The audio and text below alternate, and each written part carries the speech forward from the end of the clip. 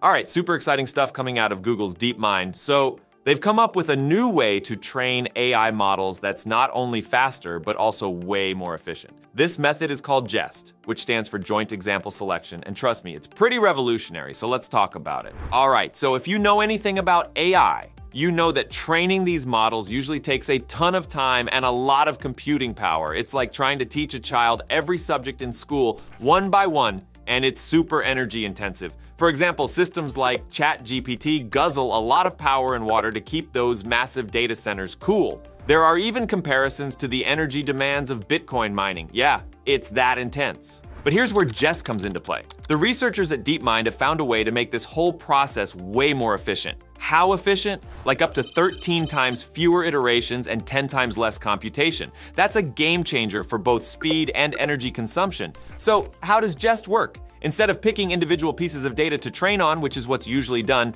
JEST looks at groups or batches of data and picks the best ones that work well together. Think of trying to learn multiple languages. Instead of learning English, then German, then Norwegian separately, you might find it more effective to study them in a way where what you learn in one language helps you understand the others. That's essentially what JEST does, but with data. Here's a bit more on the technical side, but I'll keep it simple. The method JEST uses is called multimodal contrastive learning. This means it looks at different types of data, like images and text, together, and it identifies dependencies between them. This approach significantly speeds up the learning process because the AI can learn from these well-matched data batches much more efficiently. What makes JEST even cooler is that it starts with something called a pre-trained reference model. This model helps steer the AI towards the high-quality, well-curated data, making the training even more efficient. Now, the study showed that using JEST, they could achieve the same performance as traditional methods with up to 13 times fewer iterations. Also, it requires 10 times less computational power. So, in terms of energy consumption, that's a massive reduction, which is great news for the environment. Now, the JEST research comes not a moment too soon as the tech industry and world governments are beginning discussions on artificial intelligence's extreme power demands. To give you an idea, AI workloads consumed about 4.3 gigawatts in 2023, which is almost equivalent to the annual power consumption of the entire nation of Cyprus. And this trend is only going up. A single ChatGPT request currently costs 10 times more in power than a Google search. It's estimated that AI might take up a quarter of the United States power grid by 2030. Therefore, any method like JEST that can drastically cut down on the power required for training AI models is incredibly significant, potentially easing the environmental impact and the financial costs associated with AI advancements. Furthermore, the success of the JEST method hinges on the quality of the training data. The bootstrapping technique utilized by JEST requires a highly curated initial dataset to function effectively. This means that while JEST shows great promise for large-scale, well-funded AI projects, it might pose challenges for hobbyists or smaller developers who lack the resources to compile high-grade training data. Essentially, this method emphasizes the old adage of garbage in, garbage out underlining the necessity for top-tier data to achieve optimal results. If implemented widely, however, JEST could revolutionize how major players in the AI industry approach model training, possibly reducing costs and power consumption while accelerating development timelines. Another neat thing they found is something they call data quality bootstrapping.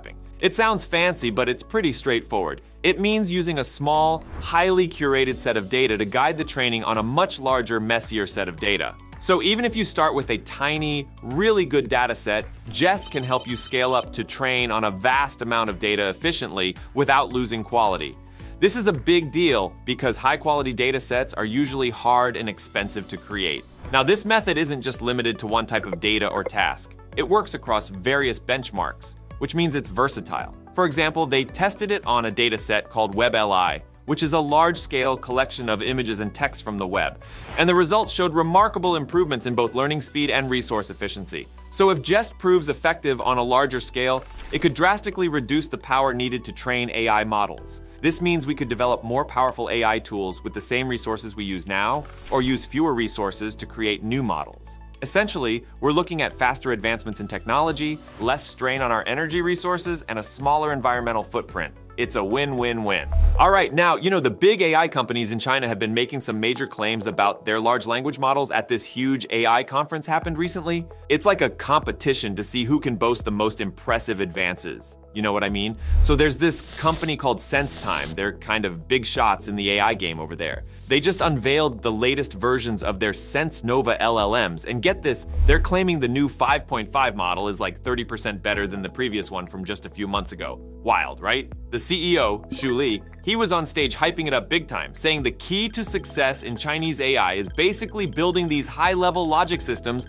using synthetic data for different industries. Xu claimed that this 5.5 model supposedly outperformed GPT-4o, the latest and greatest from OpenAI, in 5 out of 8 key metrics according to some benchmarking data from a platform called Open Compass. I mean, take that with a grain of salt for sure, but still, that's a pretty big flex. Flexing on OpenAI like that is a gutsy move. Now, despite making these huge claims about their model's performance, SenseTime's stock price actually tanked like 16% on the same day in Hong Kong. Crazy reversal, right? You'd think investors would be stoked about supposedly having a model that can take down GPT-4, but I guess the market had other ideas. And it's not just SenseTime making noise at this conference. Oh no, Alibaba's cloud division, the folks behind the Tongyi Qianwen LLMs, they were bragging about getting like millions of new downloads and a surge in customers for their AI platform in just the last couple of months. The CTO, Zhou Jingren, he was really pushing this whole open source angle hard, saying their models are now fully open source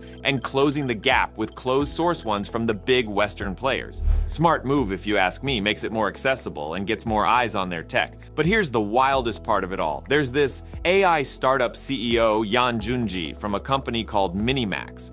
And he straight up predicted that in the future, there will only be like five companies making these huge LLMs globally. Now, that's a hot take if I've ever heard one, right? I mean, could you imagine that kind of consolidation happening? Just five players controlling the entire large language model space worldwide? Insane to think about. Of course, Yan didn't actually say how many of those five would be Chinese companies, so we'll have to wait and see on that one.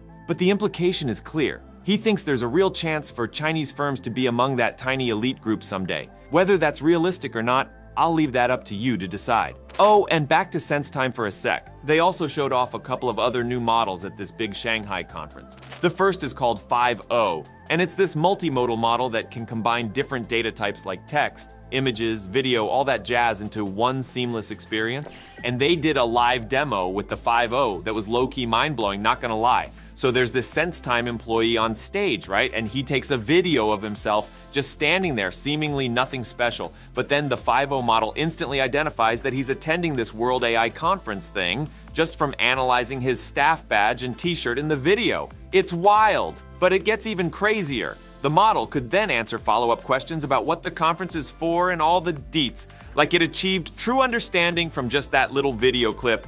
I'm talking next level multimodal AI capabilities on display here, folks. So yeah, between the bold performance claims, the open source pushes, the predictions of an LLM oligopoly, and the awesome tech demos, it's been an absolute whirlwind of big moves and even bigger ambitions from the Chinese AI giants at this conference. And that's not even getting into what companies like Baidu and Tencent were unveiling. It's definitely an exciting time in the AI space, that's for sure. And it'll be fascinating to see how all these moonshot plays actually pan out in the real world. Can the Chinese models really take down the Western juggernauts? Will we see a small group of ultra-dominant LLM providers emerge globally? So many intriguing possibilities. One thing's for certain though, these Chinese tech companies are clearly not messing around. They've got their sights set on AI supremacy and they're going all in to make it happen, whether that's through cutting-edge R&D, savvy business strategies, or sheer bravado and ambition.